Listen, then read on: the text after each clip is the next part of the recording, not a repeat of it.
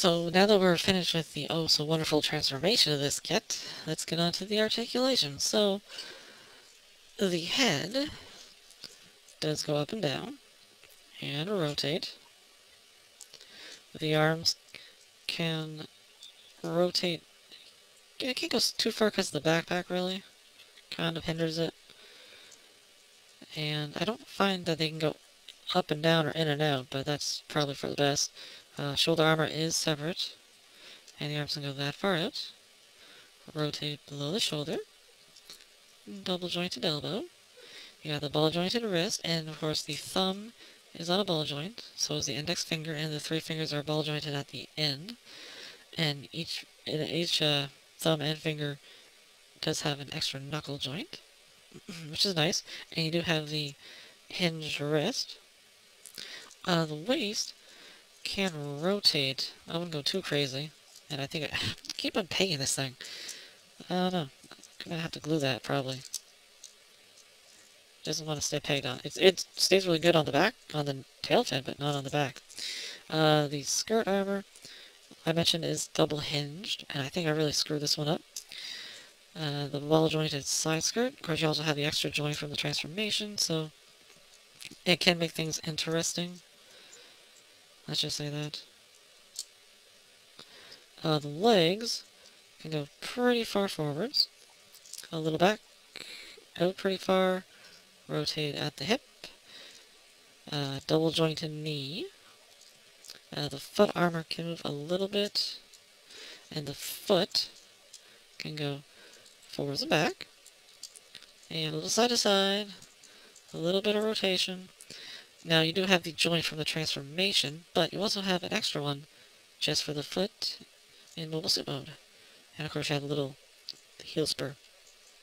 So, definitely not the best in terms of articulation, but personally, I'm kind of glad because if it had more joints and like uh, moving pieces, transforming it would be even harder because more things would want to move.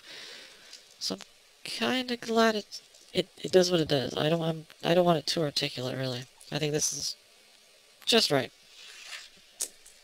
So we have an opening cockpit on the Zeta here, which can be a little problematic. It doesn't usually unpeg the uh, chest, but you do have a little like a control panel there, sort of. That's what it looks like.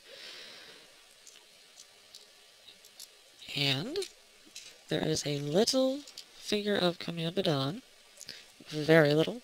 Oh, excuse me. And uh, you can see he has his little helmet on the floor there. Uh, yeah, not too bad. Pretty small.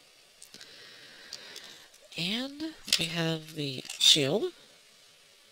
A little bit of a joint here. And you do have the connector. You just flip this out. That's kind of how it was stored in Waverider mode. You just flip this out. And now you have this piece which is on a hinge and it will peg into his arm on the hole right there on his elbow, either arm, and it's pretty solid. Pretty solid. Now, whoopsie, you also have beam saber handles mounted on the side skirts. They can flip these out and you can grab them. They're pegged and pretty secure. And apparently can be used in a, they can be used in wave rider mode as like, I think they can fire beams or something. And I have one taken out, if I can find it. That's another story. Here it is. Very tiny. It does have a little peg like other uh, real grades. Now, I can't remember. I'd have to look at the other real grades. But the hands, the way they peg it, it's not against that uh, wrist joint. There's actually, it's the hole's angled a little bit. So you have to kind of tilt the beam saber handle a little bit to peg it in properly. Because if you peg it in straight, it's not going to go in. Like that. But once it's there, it's pretty secure. Now, you also get two sets of beams. You get 1 to 100 ones, which I think are for the beam sabers, and then you get 1 to 144s, which I think is for the beam rifle. Because I do remember him using the beam rifle as a beam saber uh, once in a while. Now, just has a movable handle here, and retracting scope, which has a clear blue piece, which the head actually has a clear blue piece. The uh, the uh, sensor, and the eyes. I use the stickers on the eyes, just because looks a little better. And you can just move this. This is the connector for the uh, mobile armor mode. Has a opening up uh, barrel or stock, whatever. Looks pretty good. You can remove the clip if you want, the energy clip.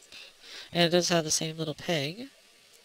So it is it is also angled a little so it'll peg into the hand. Looks pretty nice. And you also have, speaking of the hands, you have quite a few extra hands. Uh, these are the articulate ones.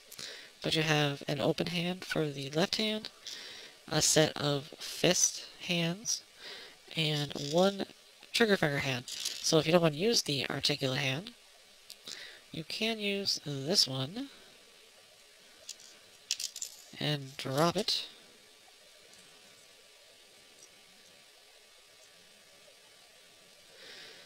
And I, it is actually, it's kind of different the way it looks, how it uh, connects. It's not just like uh, flat, it actually, this joint here is uh, where it, kinda, it pegs into that one finger. So it doesn't look like a big seam line. Kind of like that. I appreciate it. And just swap that out. And there we go. And it does have the uh, missile tubes. I think they're grenades or something. That are right here in the forearm. And they're very tiny. You can barely see them, but those little gray, those little gray nubs right there, those are the uh, grenades. And you also get little uh, canisters, like, because it only can fire so many, but you can get the refillable canisters. That peg right where the shield would go, get two of those. And that is basically the Zeta Gundam all armed up. Pretty nice. I do like the accessories, and they hold very securely. I haven't had any problem with them falling off once you figure out exactly how to uh, connect them into the um, manipulator hands. So yeah, accessories are pretty good. So, comparisons, I figure might as well do all the 1 to 144 scale Zeta Gundams I have. So we'll start off with the original that I've got. Well, maybe not the original original, but the original high grade. Back in 1991 or 92. It's the early 90s anyways. This is also a fully transformable model. No parts forming. But wow, yeah, it's definitely, it's definitely outdated. Majorly. Uh, this looks like, like a toy, a kid's toy. And this looks like a high-end model, pretty much. And, of course, the recent high grade of the Zeta Gundam, which looks... Uh, these look really good together, actually. I think they look pretty nice. This is the uh, gloss version, the high gloss. And I think it's actually... They're, I think they're on par. I think they're about the right height, too. Which makes sense. I mean, you know, Bandai, since the high grades and stuff, they aren't making them the right height, usually. They try. And I think they work pretty good. Obviously, Real Grade has a lot more detail and uh, panel lining. But yeah, I think they do look decent together. So that is the Real Grade Zeta Gundam. It is really nice. Beautiful in both modes. Transformation is... Uh, it's hard to say it's terrible because it it's the only way they could really do it.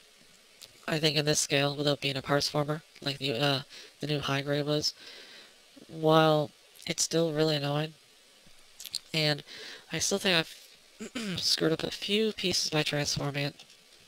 So, eh, if you, if you really want to do it, I wouldn't do it too much, because I don't think the inner frame can really take it. Um, accessories are really good.